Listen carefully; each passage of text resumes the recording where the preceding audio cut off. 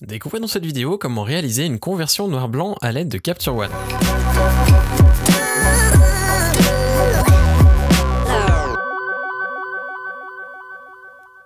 Salut, je m'appelle Quentin Descaillets, vous pouvez retrouver mon travail sur quentindescaillets.com ou sur facebook.com slash quentindescaillets.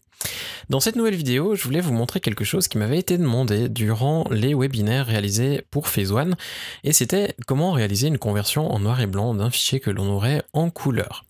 En réalité, c'est pas très compliqué, il y a euh, une petite option cachée dans Capture One qui nous permet de n'avoir que les options qui sont vraiment utiles lorsque l'on travaille en noir et blanc.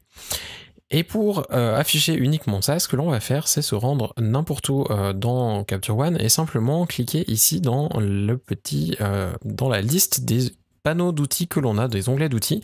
On va faire un clic droit. On va ensuite cliquer sur Ajouter onglet outils et aller dans Noir et blanc. On va sélectionner Noir et blanc et ça va nous afficher un nouveau petit onglet. On voit qu'actuellement il est déjà ouvert et si on ne le voit pas ici, il suffit simplement d'élargir légèrement le panneau. Dans ce nouvel onglet, en fait, on a passablement de choses. Ce qui apparaît donc, ce sont uniquement les outils qui vont nous être utiles lorsque l'on va travailler en noir et blanc. Et ils sont placés dans un ordre plus ou moins logique, on va dire, avec en premier les styles et pré-réglages. Si vous deviez en avoir, euh, vous pourrez simplement les activer directement depuis là. Si vous ne les utilisez pas, vous pouvez passer directement au noir et blanc. Noir et blanc, ça va être l'outil principal que l'on va employer en fait, et c'est un petit peu tout ce qui va changer par rapport à un développement couleur. On va activer noir et blanc, et ça va directement passer la photo en noir et blanc. Jusque là, rien de très compliqué, et la suite en fait sera tout autant simple. On a en dessous quelques canaux qui correspondent aux couleurs de notre image, et ce que l'on va pouvoir faire en fait, c'est simplement ajuster la luminosité de chacun de ces canaux. En ajustant leur luminosité, en fait, on va donner, euh, on va simplement altérer un petit peu notre image pour avoir le rendu que l'on souhaite. Admettons que l'on souhaite avoir des rouges qui soient très foncés, alors ce que l'on va faire c'est simplement tirer notre petit euh, curseur vers la gauche. A l'inverse, si on souhaite avoir quelque chose d'un petit peu plus lumineux, on peut le pousser euh, vers la droite. Ça dépend un peu du rendu que vous voulez. Dans ce cas, j'ai envie d'avoir quelque chose de relativement contrasté, donc je vais le tirer un petit peu sur la gauche, je vais pousser par contre euh, mes jaunes vers la droite et ensuite, on va bouger un petit peu les autres. N'hésitez pas à les pousser de gauche à droite, du maximum au minimum, pour voir la différence que ça fait. Certains curseurs ne font juste rien du tout. Et ça, ça arrive, ça dépend euh, passablement des couleurs que vous avez sur euh, votre image. J'ai une conversion pour le moment qui me euh, va plutôt pas mal. Comme vous pouvez voir ici, c'est relativement euh, bouché, mais ce que je vais faire, c'est simplement après employer les ajustements locaux pour déboucher légèrement cela. Et c'est une des raisons pour lesquelles je vais réaliser cette image en noir et blanc et non pas en couleur, c'est qu'en ramenant euh, du détail dans cette partie qui est très sombre, si je le fais en couleur, je risque d'avoir un petit peu de bruit en couleur et ça sera pas très joli, je risque de devoir le corriger et perdre en qualité. De même, comme c'est très foncé, que la balance des blancs à la base n'était pas géniale, je risquerais d'avoir passablement de rougeur qui ressortirait et c'est pas non plus quelque chose de très flatteur. On va continuer le développement, euh, même si la partie noir et blanc finalement c'est un peu que ça. À noter aussi que vous avez un onglet qui s'appelle séparation tonale, que je n'emploie personnellement pas du tout, mais qui vous permettrait de rajouter un petit peu euh, de couleur, soit dans les tons clairs, soit dans les ombres. Vous avez simplement à ajouter un petit peu de saturation et ensuite de choisir la teinte que vous souhaitez. Suivant le rendu que vous voulez, et si vous faites de l'impression, ça peut être très utile. Admettons que vous souhaitiez donner quelque chose d'un petit peu plus froid, vous pourriez très bien rajouter un tout petit peu euh, de bleu autant dans euh, les tons clairs que euh, dans vos tons foncés et ainsi vous aurez quelque chose de légèrement plus froid. Si vous l'employez, pensez quand même à l'employer avec parcimonie. si vous commencez à faire des choses comme ça, c'est peut-être pas forcément génial, à moins que vous vouliez faire quelque chose de très artistique pour une galerie. Passons ensuite au petit outil que l'on a en dessous qui est l'exposition. Dans l'exposition, on va pouvoir euh, ramener un petit peu de détails dans notre image. N'oubliez pas que vous avez euh, les alertes d'exposition activables ici si vous voulez voir si tout est encore imprimable ou non. En bleu, j'ai actuellement les ombres qui sont bouchées, effectivement il y en a passablement. Mais jusque là, je me soucie pas trop. Euh, pour un noir et blanc, ça me gêne pas forcément si c'est un petit peu bouché, et je vais ensuite les déboucher manuellement. Je vais redésactiver donc mes alertes et je vais augmenter légèrement le contraste. La luminosité, on va en ramener aussi un petit peu, on va toujours contrôler que rien n'est surexposé, ce qui n'est pas le cas pour le moment. A noter que le curseur de la saturation peut aussi vous permettre de jouer un petit peu sur votre euh, rendu noir et blanc. Pour cette image-là, je vais le laisser au milieu.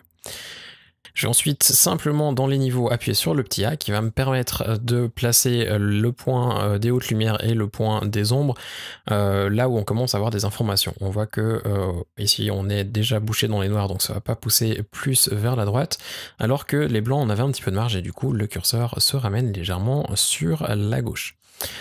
Je vais pas forcément toucher euh, les niveaux des couleurs, quoique si on voulait, on pourrait aussi la jouer un petit peu avec ces curseurs-là pour ramener du détail dans certaines zones. Euh, je le ferai personnellement plus facilement avec des courbes et de manière locale pour éviter de tout euh, trafiquer. Comme on le voit, si je bouge mon curseur des rouges au centre, un petit peu plus sur la gauche, on a les lèvres qui perdent un petit peu de contraste, mais ça devient un peu plus intéressant dans d'autres zones comme ici où on a un petit peu plus de détails. Je vais donc pour le moment le laisser où il est et on va réaliser ça manuellement par la suite. Je vais toucher peut-être juste à la courbe Luma pour avoir un tout petit peu plus de contraste, mais pas trop non plus, juste une courbe en S très légère. Euh, je vais augmenter légèrement la clarté aussi, juste pour donner un petit peu plus de détails à la texture. Et euh, le vignettage, pour le moment, je ne vais pas forcément y toucher, étant donné que j'ai déjà passablement de noir sur tout le contour. Je vais préférer le faire manuellement. Si c'est une image que je passais dans Photoshop, et ça sera le cas, je ne vais pas rajouter du grain ici, ça rajouterait simplement euh, des problèmes lors de la retouche de texture, et du coup c'est pas forcément une très bonne idée de rajouter du grain avant de passer dans Photoshop. Euh, ça serait simplement un petit peu embêtant si vous employez des outils comme le tampon ou des outils comme le correcteur. On va donc éviter de toucher, et pour le moment notre conversion noir et blanc finalement elle est réalisée. On va quand même aller un petit peu plus loin et on va simplement ici faire un calque de dodge avec euh, une exposition de plus 1 afin d'aller déboucher un petit peu nos ombres et on va aussi déboucher légèrement ici les ombres. Je vais passer sur ma tablette Wacom et prendre l'outil pinceau avec la touche B ou alors ici simplement dans l'outil euh, curseur dessiner masque. Et je vais contrôler que mon opacité soit relativement basse, une dureté très faible et la taille, on va l'augmenter aussi un tout petit peu.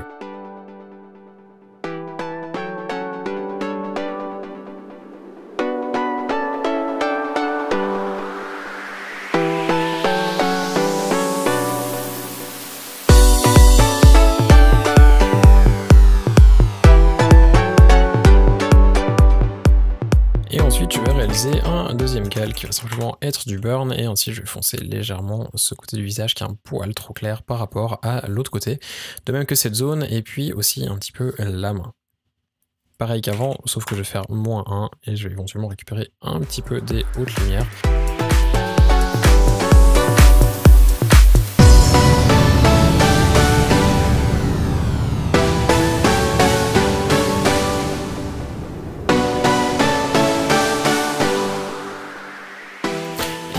Maintenant on a quelque chose d'un petit peu euh, plus sympa. Selon les écrans que vous aurez, le résultat sera différent. actuellement, je suis sur un écran mat. J'ose pas douter que sur des écrans euh, de MacBook Pro ou d'iMac, ça risque d'être légèrement plus contrasté que ce que j'ai. Si je fais un avant après, donc ça c'était au début, et maintenant on a notre noir et blanc qui est réalisé.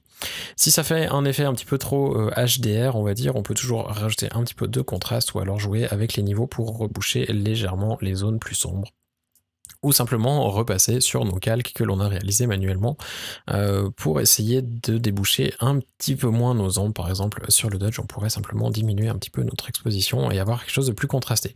Tout dépend des goûts et des couleurs euh, et de ce que vous voulez réaliser et si vous souhaitez imprimer ou non à la fin euh, votre image. J'espère que cette vidéo vous aura aidé à réaliser des images en noir et blanc à l'aide de Capture One. Si vous avez des questions, comme toujours, n'hésitez pas à les laisser en commentaire juste en dessous de la vidéo. Pensez aussi à vous abonner à la chaîne afin d'être informé des prochaines vidéos. Et en attendant, bah, je vous souhaite une excellente fin de journée. À bientôt